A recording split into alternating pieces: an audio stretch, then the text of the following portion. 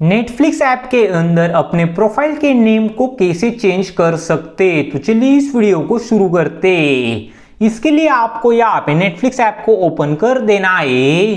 इसके बाद नीचे आपको यहाँ पे आपके प्रोफ़ाइल के ऊपर क्लिक कर देना है और आपको यहाँ पे ऊपर आपका नेम दिखाई देगा। आपको यहाँ पे क्लिक कर देना है और नीचे आपको यहाँ पे मैनेज प्रोफ़ाइल के ऊपर क्लिक कर देना है और जिस भी प्रोफ़ाइल का आप यहाँ पे नेम चेंज करना चाहते हैं, आपको यहाँ पे उस प्रोफ़ाइल के ऊपर क्लिक कर देना है और जो भी आपको यहाँ पे नेम चेंज करना है, आपको यहाँ पे कर देना है। नेम चेंज करने के बाद आपको यहाँ पे बैक आना है। बैक आने के बाद आप देख सकते हैं यहाँ पे हमारा नेम चेंज हो चुका है। अगर आपको इस वीडियो से मदद होती है तो प्लीज़ दोस्त चैनल को सब्सक्राइब कीजिए। सब्सक्राइब करना बिल्कुल फ्री है।